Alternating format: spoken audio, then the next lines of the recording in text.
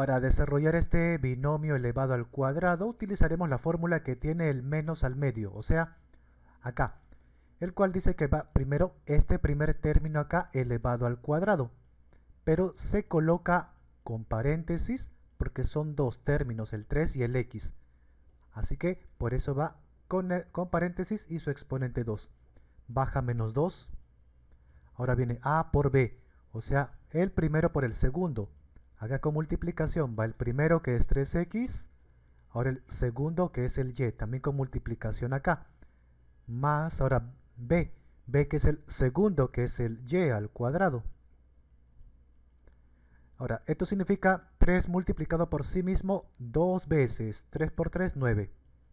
Al x también le afecta el exponente, así queda menos. Todo esto es multiplicación, pero solo se multiplican los números. 2 por 3, 6 y las variables bajan, xy, más y como es variable también baja igualito y se terminó. Acá termina.